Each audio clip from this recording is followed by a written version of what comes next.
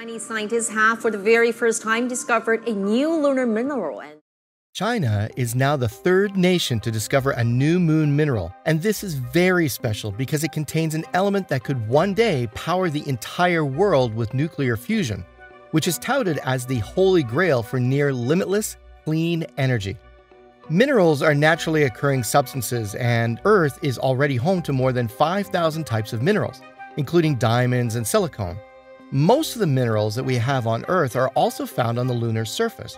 The United States and the former Soviet Union have already discovered five of them, and the International Mineralogical Association has now confirmed that the China National Space Administration has discovered the sixth moon mineral known as the Changesite Y.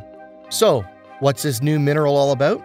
Well, keep watching till the end to find out a lot more about how this mineral might help us crack the code of nuclear fusion. The Apollo missions are the most celebrated lunar missions for putting humans onto the lunar surface. But its biggest contribution was never putting humans on the lunar surface for the very first time. It was the collection of rocks that astronauts brought home. These are not just any rocks. They are the thick layers of crushed rock and dust that covers the surface of the moon and several of the planetary bodies. And studying these samples in laboratories on Earth help us to establish the modern field of planetary science and also gives us several crucial insights about the geological process that operates on other planetary bodies. In December 2020, China became the very first country in about four decades to bring back lunar rocks and soils while also collecting several pounds of samples, according to several industry experts. The Commission on New Minerals, Nomenclature and Classification a body of the International Mineralogical Association that reveals the introduction of minerals and the naming, confirmed that Changesite Y is indeed a new mineral. The new finding makes China the third country to have discovered a new mineral on the moon. The Changesite Y is a somewhat colorless, transparent, and columnar crystal. The finding was announced at a press conference on September 9th, and this discovery means that China is now the third country to discover new lunar material following the United States and the former Soviet Union. The China National Space Agency's Chang'e 5 mission landed on the moon and ended up collecting 3.8 pounds of lunar material, and then returned to Earth with those samples, making the first retrieval of moon material ever since the 1970s. Chinese scientists discovered this single crystal of a new phosphate material while analyzing lunar basalt particles, which were collected from the lunar surface two years ago as part of the Chang'e 5 mission. The team successfully isolated a single particle of the new moon mineral from more than 14,000 other particles in their sample. Phosphate is the natural source of phosphorus, which is also found on Earth.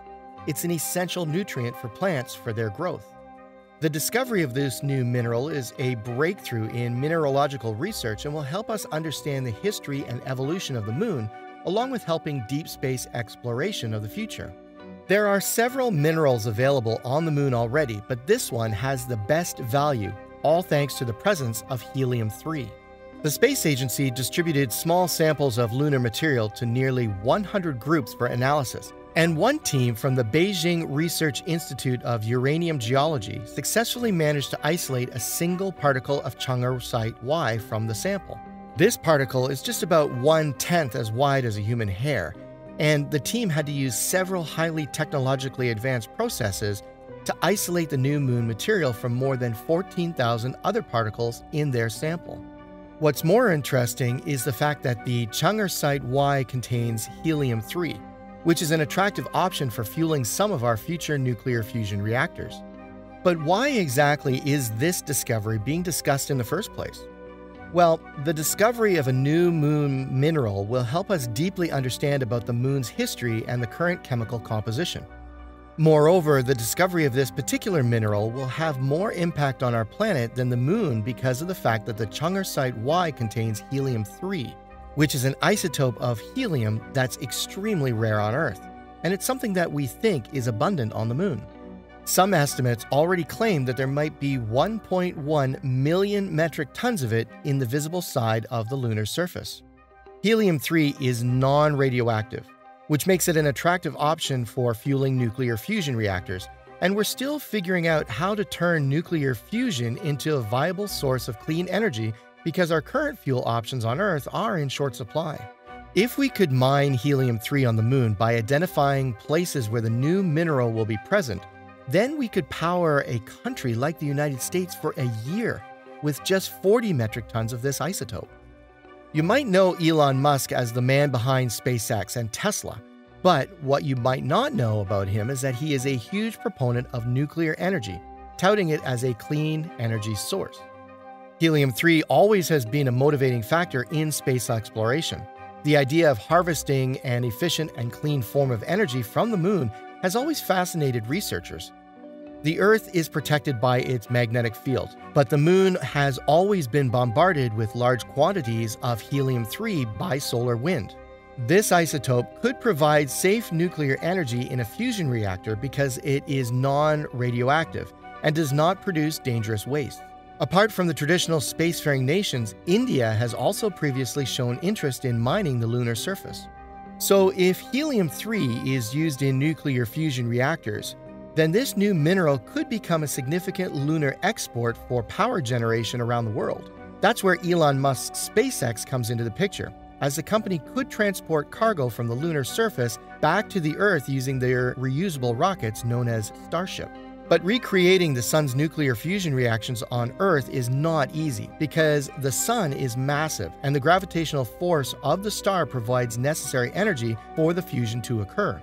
China is working on their Chang'e 6 probe that is already in its final stage. The Chang'e 5 already went to the far side of the moon for the very first time, and the sixth iteration is here to understand the moon even better by retrieving samples from the far side of the moon and returning them to Earth. The new phase of lunar exploration, China will have a lunar base on the moon in the upcoming decades for research purposes. With the new lunar base by China, we might be able to know more about the lunar surface and its history, whether it was once part of the Earth or not. Lunar samples are exciting because they give us clues about the understanding of planetary evolution, according to James Head, a professor of geological sciences at Brown University.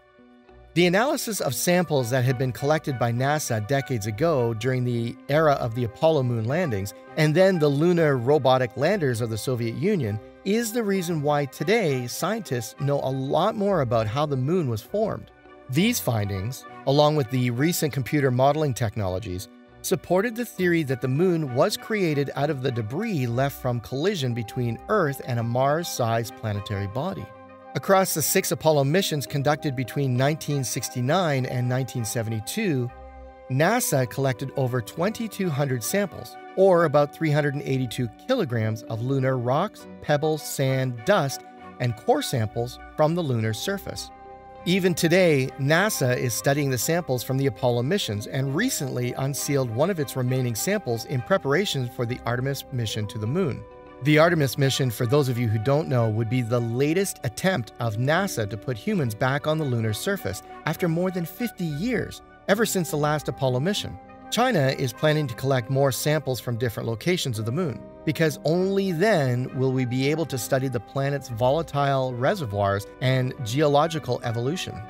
Most of the sampling has targeted the central part of the near side of the moon, the hemisphere that faces the Earth. What's more exciting would be the fact that upcoming expeditions, including the efforts by China and the United States, are targeting unexplored territory on the moon, a side that does not face the Earth because the samples from other geological interesting sites could help broaden the understanding of how the moon was evolved while also revealing some of its interesting secrets. The lunar rocks that we collected from the moon have undoubtedly reshaped our understanding of the moon and the entire solar system. So, gathering more of these is the most important reason for China to go back to the moon. It would be a common thing in the future if Elon Musk gets his Starship to the lunar surface.